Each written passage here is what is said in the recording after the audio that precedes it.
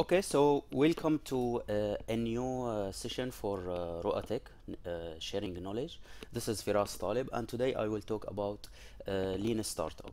So first of all, uh, just a little introduction. Why Lean Startup in uh, RoaaTech? Uh, so you know, Ru'atech is a, a small company. We provide development services for our customers mainly, but many of our customers are already startups. So they in um build. Uh, we help our customers uh, building their uh, ideas. Uh, another reason is that uh, RoaaTech has uh, its own uh, investment in some ideas recently. So I thought it is a good idea to start talking about how to build a new idea using lean startup methodology. Uh, the last reason is that maybe some of you, if not all, want uh, to start a business in the future. So hopefully this presentation is for you. Okay, so let's get started. Uh, first of all, uh, a couple of questions about a startup. Why, uh, what is a startup and why it is different from uh, a company? Uh, we all know that startup is risky. Why? Why is that? And uh, what is the risk in startups? If there is a risk, how can we minimize this risk? And how can we build a product that people want, okay, and achieve the product market fit uh, with the minimum risk and effort? We will see in this presentation, can lean startup really help in minimizing the risk and achieving the product market fit and building a successful business? Okay. So first of all, as it happened to me and maybe some of you or maybe not maybe all of you. As a beginner in business we were so excited recently graduated. Uh, we don't have a clear idea about what we will uh, do in our startup or in our but we are we were so excited. We want to make an impact. Maybe we were we were inspired by facebook or microsoft apple big companies. And uh, the key word here is we didn't have a real plan for our uh, business. We don't know how to uh, uh, target our customers, do customer segmentation. We simply target anyone who would use our great code or great application or great service. And the, the reason is obvious. On the other side, we have this professional guy who has a very clear idea, and before that, of course, he has a very successful career for 10 years, 15 years, maybe 20 years, and he knows how to write a business plan. He actually knows and he has a very long experience how to execute the business plan as well. Uh, also, he knows how to target customers. He used to do the business plan right uh, with a, a clear business model in uh, companies. Okay, and achieving the target, maybe 90% of the target, sometimes overachieving the target, but business plan used to work. He also has good relationships, and this will lead to relatively easy funding. Okay, now, so the, the question now, for beginner in business, we know that they will fail and they will learn for that. Okay, but why professional also fail in business? They have all, obviously, all the reasons that make them strong enough to build a new uh, business. So why do they fail? Of course, when they go to the market, this business plan will be uh, useless in front of the first uh, customer. And the reaction would be different from a professional guy to another. So for example some people will start to uh, do a major change by firing employees. Uh, some people they will stick to the business plan because it used to work okay? And they will say okay we will go and uh, you know this is a startup. We have to uh, be uh, very brave and uh, move on until we succeed. So they will stick to the business plan and they will fail because it doesn't work. Some people they will say okay i knew it. Business plan will not work and i will move as eric ries the author of the lean startup book uh, describe they will move from a business plan to just do it plan maybe this is funny or not but actually it's like some professional people will not use a plan at all as if they are beginners let's say. And at the same time beginner people will start to learn uh, the business plan to uh, you know try to improve their uh, way of uh, building a business and they will fail. So uh, again the question is why the most important component in plan driven uh, project management which is business plan why it fails in startup? This is the most important questions that i will try to answer today. Uh, in short we have to uh, you know uh, distinguish between a startup and company because startups are not a smaller version of large companies. And the main difference is that uh, in startups we uh, it is built on top of assumptions and hypotheses okay? It is not built on top of facts. Uh, so there is an extreme uncertainty in building a new startup. So the root cause in my opinion and as i understand lean startup the root cause is that in companies business plan is built on top of numbers and facts while business plan in startups will be built on top of assumptions and hypotheses. So it will fail or most probably it will lead to uh, failure. In other words companies can execute a non-business model on top of a business plan. Startup should not execute a business plan. They should look for a business plan or a business model because they don't know how it, uh, it uh, how uh, they don't know from day one that uh, if, if all the assumptions will work or not. In short startup requires a special component okay different from the the traditional business plan which is again don't get me wrong it is perfect it's still used we need it but we need it in company okay? In a startup we need something special and the requirements for these special tools or components is we need this new methodology to help us look for a business plan and build a real uh, realistic business model around it. We need this methodology to help us validate the hypothesis by doing experiment and we need this methodology to help us doing that iteratively uh, many times uh, doing the experiment with as much uh, as we can reducing the cost and effort to gain data get customer feedback put it again in uh, the uh, the new uh, service or product and move on. Uh, in short this is what lean startup is all about. It's about uh, the rest of the presentation we will discuss the three main components that compose lean startup. First one is the lean canvas business model that will help you put all your hypotheses and answer to the main questions that you need to focus initially in your startup.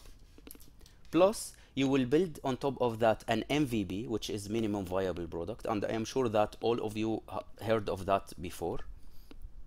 Third we need agile engineering that all of us work every day in agile engineering. We build something we uh, release we get the feedback and we change we build again and so on. So we need the same agile engineering methodology as a part of the lean startup. Let me move to the first part which is lean canvas business model. This is the lean canvas business model. As you can see it has many different uh, blocks inside it and it will help you answer the main questions. So first one is the problems okay? This is to specify your customer problems that you want to solve and if you have many segments of course you will mention all the problems that you want to solve. Plus you have to mention the existing alternatives for your solution okay? We will see an example. In the other side of the lean canvas we have the customer segments. And you know the, uh, here you will list all your targeted customers and users. You will try to separate between users who will use the service and customers who will pay for it in case they are different try to be descriptive as much as you can to describe all the segments that you will target. And one of the most important part is listing the early adopters. Early adopters are people who are so eager to to find another solutions for their problem okay? Fi or let me put it this way to find a better solution for their problems. So finding the early adopters is essential in writing your first draft of lean canvas which represent your initial plan. And of course as a best practice and this is you know there is no yes or no or there is no specific right answer here as a best practice maybe it's better to start with a few number of uh, customer segments and maybe one is enough. The third part is the unique value proposition okay so this requires a deep understanding in what really make your solution is unique. To be able to position your solution as a different solution from other alternatives. The other block is the solution okay which is obvious. The solution that you will offer your uh, uh, potential customers specifically early adopters to to see if they it, if it will work or not other block is the channels. And you know we have different communication channels uh, nowadays to reach to our targeted uh, audience or customer. Okay? We have different techniques. We have a free we have paid. You may create a facebook group to communicate with your potential customer. You may uh, create a blog uh, and do some SEO, uh, white papers, webinars, uh, doing online videos, uh, search engine marketing ads, uh, etc. Maybe you, you will call your customers, you will look for them and meet them and try to understand their uh, concern about the problem. So there are different channels. And here I would like to mention very important point regarding marketing. You see, most of the blocks that we discussed now is related to marketing, right? Uh, You know, there is a traditional concept about marketing that it happens after we create the product. But here in a startup, marketing skills is essential to be part of the product development itself. It is not just some some activities that you will do after you build your product. You need the marketing skills within uh, from day one in your startup to be able to build a product that people will use. So as a technical people mainly here uh, I, I, believe most of us are pure technical. Uh, it's time to think about your ideal founder. Uh, sorry your ideal co-founder maybe right? Um, or if uh, definitely as an entrepreneur uh, you need to get at least the basic and the minimum of the marketing knowledge plus finding either a co-founder or a, a, good employee in your project so marketing is essential uh, as a, uh, a core part of building the product itself let's move to another part Okay, so it's obvious, you know, this is the revenue stream and cost structure. And here is again, in terms of revenue stream, the pricing. Some people defer and postpone discussing the pricing of their service. Pricing is uh, an essential part of your product, okay? So in general, uh, generally speaking, you don't have to, uh, it, it's better to avoid deferring discussing the price. Price is important and pricing you know is completely different subject that uh, we may discuss in the future. And honestly i myself i will ask a consultant about pricing if one day i started my own uh, uh, business and i will not postpone uh, that and again it's case by case you know this uh, might be different from an idea to another uh, for cost structure, you know, it is all the cost that uh, you need to calculate, uh, including uh, development, uh, uh, marketing, renting an office, etc.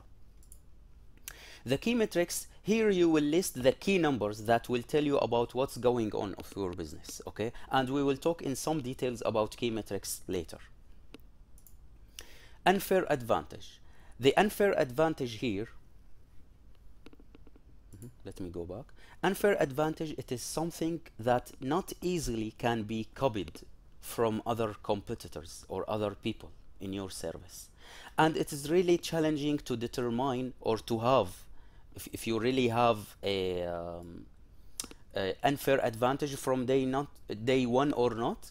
Anyway, even if it's it will still empty from day one, at least you know that you need this, and this will help you to uh, to uh, to build your product in faster way.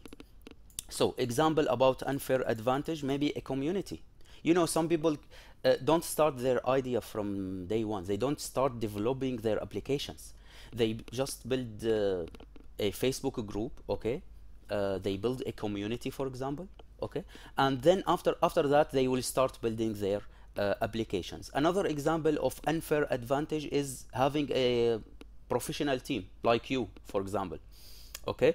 um, SEO rank if you have a website and you are you are on the first or second result always for specific keywords this is unfair advantage your uh, competitors relatively will not be able to get this advantage easily so this is the lean canvas here we put all our our assumptions our our uh, vision let's say and expectation about the and understanding about the product uh, we will uh, talk about Uber as an, a, a, quick example. So in Uber, the problem is having a high taxi rates and uh, finding uh, the difficulty in finding the taxi in a rush hour. Uh, we have limited income for drivers and limited work hours. And as you can see here, we have two separate, uh, you know, problems. One for visitor and one for the driver. The existing alternatives is the public transportation and classical taxis. For unique advantage, you can get a car to your trip at any time safely. For the driver, you can get extra income on your own schedule. And of course, as a quick description, Uber is less expensive and more secure and more flexible conditions. Of course, we are imagining as Uber will start today. For the solution, the solution must provide the low rate cars availability, determining the car identity easily, and flexible working hours the channels, word of mouth and referrals, and maybe others. This is what I mentioned. Co uh, the pricing or the revenue is 25% commission per ride. And for cost stru structure, all the product development cost, marketing, wages, operations, etc. Um, the key metrics, number of users per day, for example, and number of trips per day, and others. The unfair advantage in that time, when they started, of course, getting a low rate easily by using a mobile application. So this is just a quick example about how we can use Lean Canvas. It is one paper, okay? You will write it, uh, maybe you will print it, you will put it on you in front of you and in front of all the team so they can see, uh, they can understand more about the products. And you have to be... Uh, the, the unfair... Yeah. Yeah. So the unfair advantage here, it means the uh, strength of, of our idea. Why our idea, we think. Uh, to be to be more specific, unfair advantage is related to something not easily copied from uh, from other uh, alternative solutions. Okay, so for for, for okay, what but, you but, you mention is the unique value proposition. Uh, does it does it or must it uh, available always? Uh, and, no. another question: No. How how to validate your idea after you write your? Yes, give me a chance to to continue, and I will receive all the question at the end. Okay. Yes, I will. I, I will come back to this uh, idea, inshallah. Uh, okay, so again, this is the lean canvas as a starting point. This is the initial plan that we need to verify. Some people over believe in it, okay, because they watch a lot of uh, you know movies maybe related to social network or whatever that the startup and uh, maybe they are inspired by Steve Jobs and having a very very trust and self confidence in their vision. I'm not saying that this is wrong completely, but I'm just describing the methodology that reduce the risk reduce the waste and effort that will be spent front before you uh, validate your idea.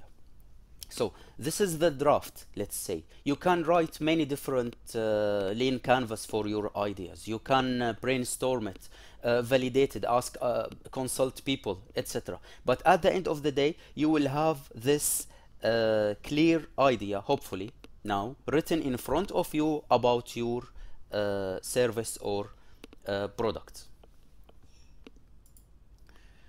Okay, so now we have the lean canvas. So uh, the first, uh, there are three main stages about a- any startup. Let's start uh, mentioning and explaining each stage. And in each stage, we need to focus on something.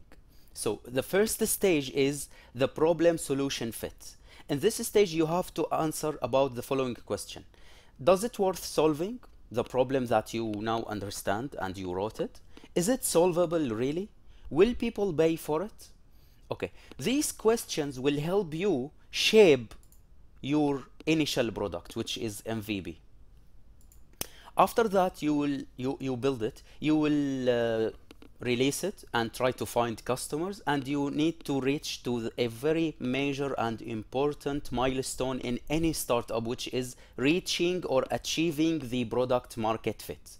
When you have a clear idea about it is your product or service is something that customers want they pay for it okay and you can build a business around this idea so this is a major important uh, step in your uh, in any startup.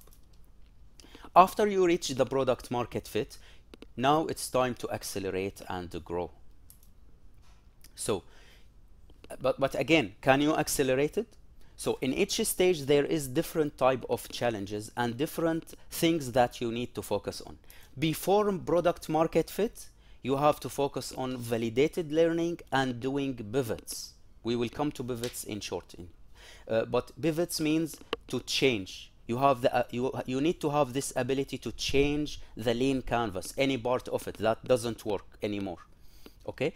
After you reach the product market fit congratulations. This is a major step and you can focus on growth and optimization. So uh, just a little question. You know what's the point of having a marketing campaign? Uh, spending $10000 for example if you are still in the first stage in problem solution fit. Uh, what's the point of having a contract with influencers if you are still not sure if you if you reached product market fit or not? So um, again there is no yes or no or right answer about that. You need to have a very clear metrics to know that your startup is in the right stage after you reach the product market fit you have to be careful and more uh, you you will have a new concern uh, uh, which is the competitors and people who copy the ideas. And at the same time it's a good timing for funding if you need. So uh, this is the main stages. You will build you will measure uh, the feedback you will learn from the feedback and move on hopefully uh, from stage to another until you succeed. Now let's talk to the uh, let's talk about the second uh, component which is the mvp i think all of us we know this uh, famous uh, picture for henrik uh, kniberg i believe if i pronounce the name correctly. And we already know what is the difference between the right MVP and the wrong MVP. The MVP is not something that half ready, okay? It, it should be ready to solve the problem, but maybe it needs optimization. You need to cut the facts from uh, the MVP and focus on the main feature or, or features that will uh, represent the solution to the problem. Okay, so le- let me give two examples about a good MVP. Uh, the first one is uh, Food on the Table startup for Manuel and Steve. Uh, the, the, in short, the startup is to prepare a list of recipes for customers, then ordering or requesting the right ingredients for these recipes uh, from the nearest shops and markets. And of course, taking advantage of any uh, offers uh, provided by the shops. So uh, instead of deciding to build an applications, iOS, Android, uh, web applications, and uh, signing contracts with uh, many different uh, chefs, professional chefs across uh, around the world. Maybe they didn't decide to build an AI algorithm or uh, a recommendation system that depends on the health status of your customers. Instead of that, the founders they looked in the nearest shop to their home about one customer and they found a one housewife that is interested in shopping simply okay? And they uh, proposed to her to prepare a list of recipes each week okay from the nearest shops and uh, giving uh, uh, uh, then delivering the ingredients uh, home she agreed about that and then they tried uh, to uh, due uh, because of the word of mouth okay they were able to get more uh, housewives and uh, customers interested and they used to get 10 uh, dollars for the service. The next mvp was uh, so they depended in excel file maybe i don't know or it was completely manual way of validating the idea. Then they started depending on emails um, maybe in our uh, current uh, uh, in this in these days maybe they would have depended on um, uh, whatsapp group maybe. Okay? To receive the request from their customers going to shop getting the ingredients delivering it and uh, moving on. So the idea is it was completely manual validation okay uh, then they started to automate the important part. And step by step uh, they moved on. And it, of course it was a successful business that if you look for it now i don't think you will find the website because it is acquired by another company. I tried to find the website before but i couldn't. Uh, i think it's in wikipedia uh, that it is acquired uh, from a company that i honestly forgot the name. The other example is Zappos. So in 1999, uh, the founder uh, uh, uh, wanted to validate the idea of will people are ready to buy shoes online? So he created a new static website, okay, and uh, he chose a very attractive domain as you see. It is shoesite.com if you go now to shoesite, shoesite.com you will be redirected to zappos.com so this is the actual domain that he used by the way. And he built a static website. He went manually. He went to shops and he came to an agreement with shops. He will take photos of shoes. He will put it in this simple website. And when people ask him uh, about uh, the price and he is interested in buying the shoes he will go to the shops buy the, the shoes and deliver it to the customer. Okay? So no infrastructure no warehouses. Again manual way of validating the idea. And at the end it is acquired by uh, amazon. The last part of uh, the or the last component of uh, lean startup is the agile engineering. Of course we do that every day. You already you are already aware of the importance of having the iterative and the uh, doing sprints for any product. Uh, so i will focus more about the measurement and how to learn from what we measure. So uh, one of the tools that uh, to, to create a metrics a uh, real metrics one of the uh, tools that we can use uh, called pirate metrics. So pirate metrics is in short is composed of many metrics that each one leads to the second one as a one funnel. So the first uh, uh, metric is acquisition. Okay so this is the first step of awareness. So if for example if you are building a website this is the very first time when your customer go to the website this is the acquisition and of course you can define you have to to put a very uh, specific definition for each um, for each metric So this is the acquisition. After acquisition, there is activation. So this is the first interaction from the potential customer with you, with your serv, uh, with your uh, idea. Uh, yeah, famous example activation like sign up. Okay. Uh, after sign up, the customer will you, you have to check the retention and how many times your customer is using the service and what part maybe of your service. After that the revenue when customer buys your uh, service then referral when your customer is interested in uh, your service to that degree when he share the service with uh, others the most important thing in, in metrics is to be uh, actionable uh, and accessible from all uh, the team. So they can make a decision on top of that. And again as you can see here is uh, again the marketing uh, plus uh, marketing skills plus let's say that data engineering data scientist skill right because you know you need to know how to manage the data that you have how to extract the right uh, metrics how to measure. So again what are the skills that you need in your startup from day one? What are the skills that you already have? This will uh, be a, uh, this is an important uh, question to to uh, answer. Okay so this is the uh, uh, the happy scenario let's say okay if people easily went from acquisition to activation to retention uh, all the way down to revenue and referral.